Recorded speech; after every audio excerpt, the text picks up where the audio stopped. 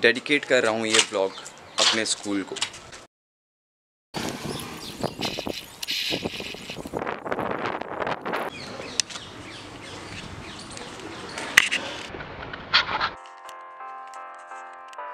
ये ब्लॉग हर उस इंसान के लिए जो अपने बीते पलों को याद करना चाहता है। ये ब्लॉग हर उस इंसान के लिए जो अपनी पुरानी यादों को फिर से जीना चाहता है। ये ब्लॉग उन सब के लिए जो अपने दोस्तों के साथ बिताए उन पागलपंथी और मस्ती वाले दिनों को याद करना चाहता है। ये ब्लॉग हर उस इंसान के लिए जो अपने दोस्त को कभी ना कभी परेशान कर चुका है।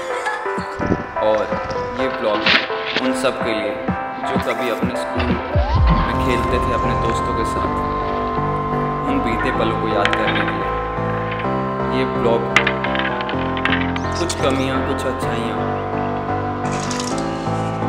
याद दिलाते ये ब्लॉग उन दोस्तों के साथ लड़ते झगड़ते कभी हँसते इन सभी यादों को समेटने के लिए।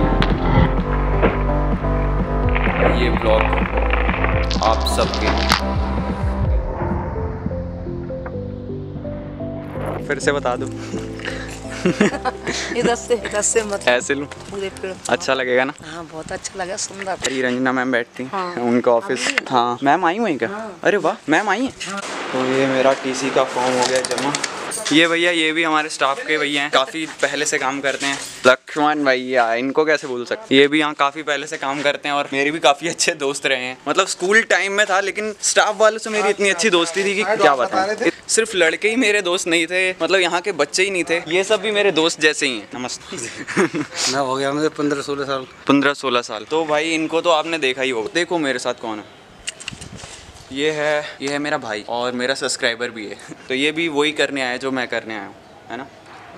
चलते हैं। ऐसे टीचर सबको मिले, मैं उम्मीद करता हूँ। जो भी और आगे बच्चे यहाँ आने वाले हैं, जो इनसे पढ़ चुके हैं आई कैन डेफिनेटली से कि सबकी यही राय होगी और सब यही मानते होंगे कि इन टीचर्स की वजह से हमें बहुत ही प्रोत्साहन मिला, बहुत ही मोटिवेशन मिली। तो थैंक यू सो सो सो मेरे सब्सक्राइबर्स को सबसे बड़ा थैंक यू है, क्योंकि आप हो तभी मैं ये सब आपको दिखा पा रहा हूँ। अगर तुम लोग नहीं होते तो मैं ये दिखाता किसे? मैं ये फीलिंग्स शेयर करता किसके? दूसरा दोस्त भी मेरा यहाँ पे आ गया है। एक्चुअली मैं इतना एक्साइटेड होकर क्यों बोल रहा हूँ? क्योंकि आजकल ज़्यादा लोग आ नहीं रहे हैं, बाकी लोग ये काम कर चुके हैं जो हम अब इतना लेट आके कर रहे हैं। तो ये है वो देखो अपने बाल संभाल रहा है। स्कूटी के। नहीं। शीशे नहीं।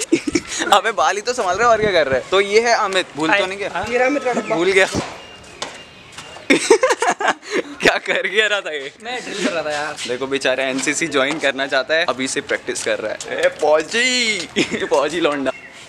भाई और बहनों। अबे चश्मा तो पहन। धूप आ रही है। भाई और बहनों अरे एक मिनट यार स्लो मोशन में करना है भाई और बहनों अबे आगे क्या बोलूँ मैं? ये जो स्कूल है ना ये सीमेंट का बना है। अम्बुजा सीमेंट का। इसकी भुजा अम्बुजा है। दिखा मेरी ऑडियंस तो दिखा। देखो। इतनी प्यारी ऑडियंस है। सब्सक्राइब करो मुझे। कितनी? एक दो तीन चार पाँच अबे ये तो तारक मेहता बन गया। तो मेरे प्यारे बच्चों ये जो सामने लड़का खड़ा है यही यही यही हाँ ये सामने। इसको सब्सक्राइब मार देना और लाइक ज़रूर करना ठीक वैसे ये सब मैंने नहीं बोला इसे बोलने के लिए अपनी मर्ज़ी से बोल रहा। है? वैसे भैया बात कर लो बात कर। हाँ यार जल्दी पहुंचो यार। धमकी दी जा रही देखो स्कूल में कैसे लोग हैं। वैसे हैं सच में अच्छे हमारे ना कैंटीन इन्हीं के भरोसे। अच्छे बंदे हैं। मैं मज़ाक कर रहा था। अच्छे बंदे हो ना? ये देखो हमारे स्कूल के भैया। ये हैं गार्ड भैया। लेकिन यार सारे काम आते हैं इन्हें।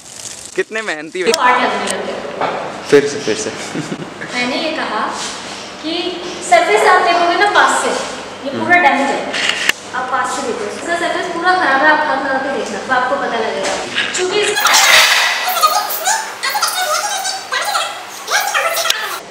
समझे?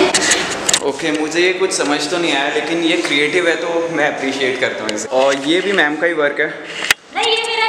अच्छा नहीं। अच्छा मतलब ओके फिर भी फिर भी क्रिएटिव है। गया।